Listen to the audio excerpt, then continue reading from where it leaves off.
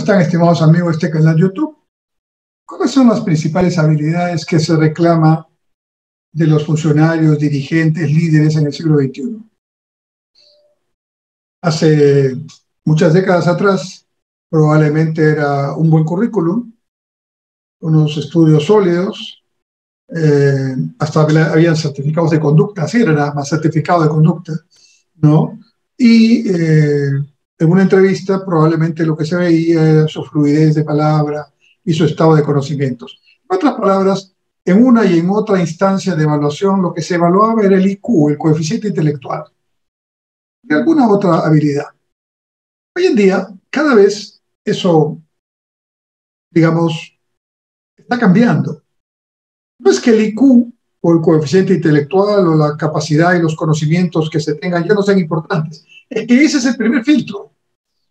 O se busca personas que tengan cierta especialidad, cierto nivel, cierta profundidad, y eso ya hay algunos indicadores que van marcando eh, claramente, incluso hay plataformas, el LinkedIn es uno de ellas, que ya van hasta segmentando eh, a los profesionales y a los técnicos según esas especialidades y esos niveles y experiencias.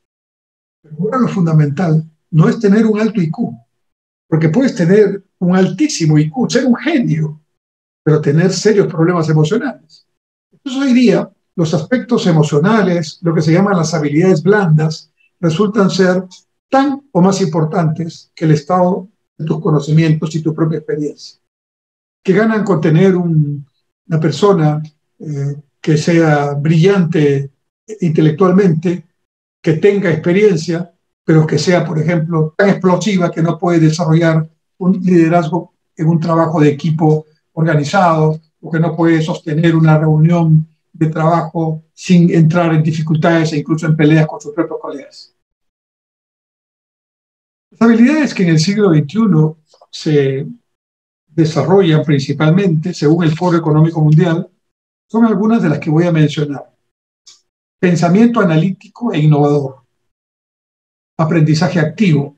¿Qué es el aprendizaje activo? No solamente aprender a hacer cosas, sino aprender a aplicarlas en momentos y, circunstancias especiales, sabiendo qué cosas se puede hacer en qué y en otra oportunidad lo que se puede hacer correspondientemente resolución de problemas complejos, pensamiento crítico y analítico, creatividad, originalidad e iniciativa, liderazgo e influencia social, uso, seguimiento y control de la tecnología, diseño y programación de tecnología, resiliencia, tolerancia al estrés y flexibilidad. Resiliencia, esta palabrita tan complicada y, y novedosa en estos tiempos, que lo que significa es tu capacidad para enfrentar situaciones inesperadas, proactivamente, un poco no resistir al cambio, sino enfrentarlo, afrontarlo y salir exitoso, convirtiéndolo en una oportunidad.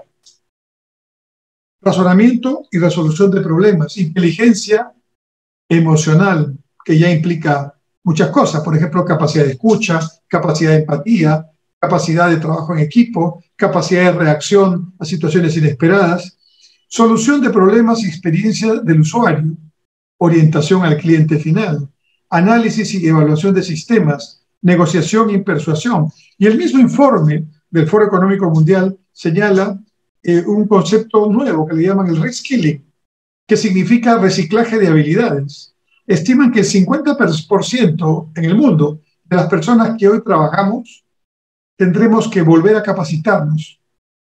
O como dicen algunos, tendremos que desaprender para volver a aprender como si fuéramos jóvenes todavía que estamos en nuestras etapas iniciales de formación, porque de eso se trata, se trata el mundo de este tiempo, un mundo que cambia velozmente, disruptivamente, y donde lo que ayer era necesario, hoy tal vez ya no lo sea, y donde mi trabajo que yo hacía anteriormente tal vez ya no sea el trabajo necesario, y yo que tengo que trabajar para poder vivir y para hacerlo de una manera digna, tengo que estar dispuesto mentalmente con mi actitud psicológica y emocional a desaprender lo aprendido y aprender nuevas cosas. ¿A qué edad?